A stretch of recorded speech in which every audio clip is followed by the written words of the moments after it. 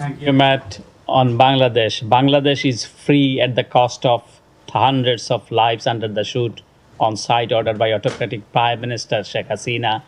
But the situation is still unclear. Students, leaders, opposition parties, and the army are trying to form a civilian government. Could you please provide more insight into the U.S. position? Uh, so, as I said, a few things. Number one, um, our condolences, of course, go out to those who have been hurt uh, in the violence uh, over the past few weeks. Um, we are focused now on supporting an end to the violence uh, and for accountability.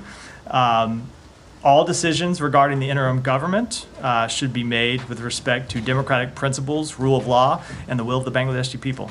Yeah, as you said, accountability. Sheikh Hasina fled to India and she is trying to get any of the Western country. Will you allow her to come into the US as she commit Uh, I'm crime not- against humanist, humanity I- largely? I'm not aware of any request uh, of that nature.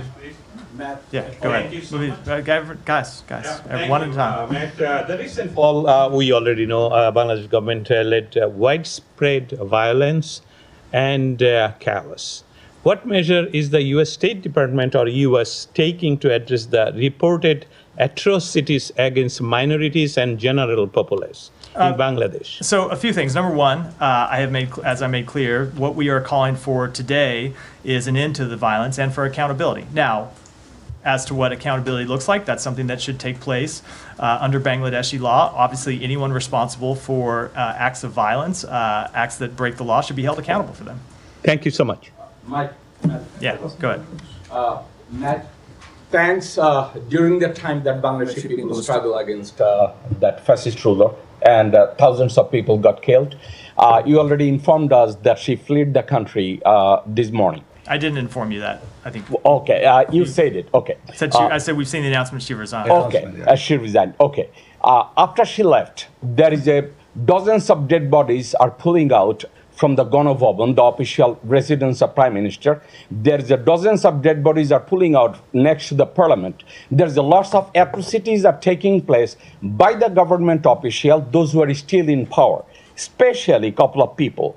Uh, Army Chief of Staff General Waker-Uz-Zaman, he was involved uh, with genocide. Um, Navy Chief Admiral Mohammed Nazmul Hassan, he was involved with the genocide. Air Chief Marshal Hassan Mahmud Khan, they were involved with the genocide. And they're the same people are saying, we are going to the president and form a caretaker government. So, as a matter of fact, when was the last time we heard a killer is going to do the justice for another killer? So let me say a few things. Number one, with respect to um, the violence over the past few weeks and the deaths that have occurred, it is vital that we have full and transparent investigations to ensure accountability for these deaths.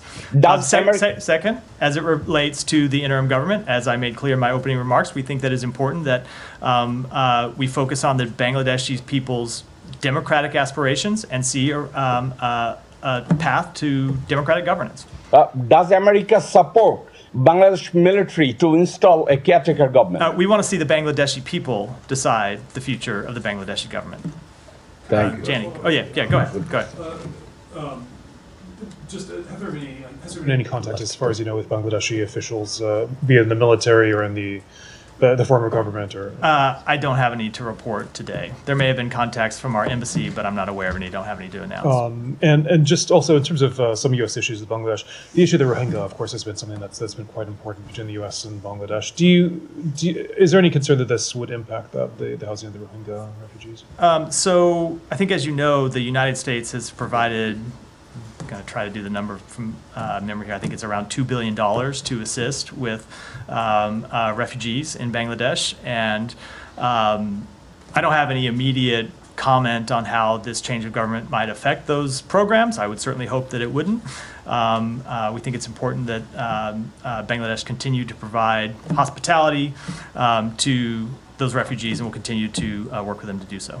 No, hold on, hold, gu- guys, hold on. Uh, Simon, did you have? An, Yeah, uh, well, Ma- uh, uh, Sean asked most of my questions, but I did want to ask on uh, is there is there ongoing uh, assistance to Bangladesh, both uh, in terms of humanitarian aid, that will con- will continue, and also um, you know military will military assistance continue given.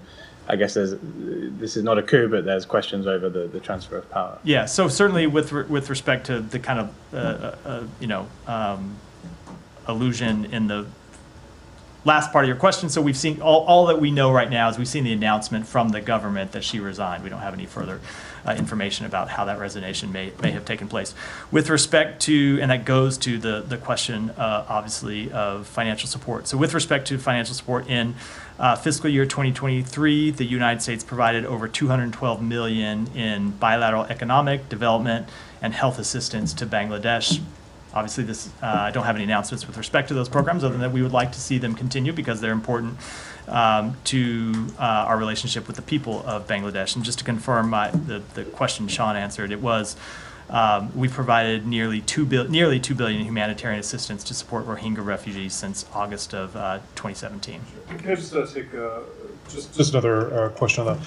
Uh, just taking a step back a little bit. I mean, wh- how do you actually feel about the army's role? Uh, how does the United States feel? Do you think that they were productive in this? Is there any concern that an interim role could become more than an interim role? Um, so let me answer that two ways. One, with respect to their role over the past several days, we have seen the reports that the Army resisted calls to uh, crack down on the protesters. And if those reports are true, certainly that is something that we would encourage. We don't, um, we made clear, I think, for several weeks now that um, people have a legitimate right to protest and to peacefully assemble, and we opposed any kind of violent crackdown. So if it is true, in fact, that the Army resisted calls, um, to crack down on um, uh, on lawful protesters, that would be a positive development.